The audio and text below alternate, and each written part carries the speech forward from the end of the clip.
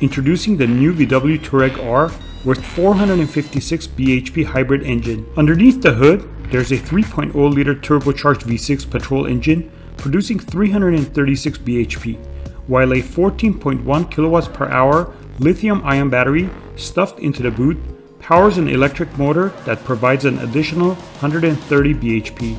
VW quotes total power as 456 bhp. There's also 516 foot-pounds of torque on offer, permanent four-wheel drive, and a max trailer weight of 3.5 tons. There's no nod on how fast it'll do the benchmark 0 to 62 mile per hour sprint, but I expect it to be somewhere in the mid 5 second range. Top speed is electronically limited to 155 miles per hour. VW has announced in the press release that the Touareg R always starts on E mode, assuming the battery is charged, and can use only the battery all the way up to 87 miles per hour.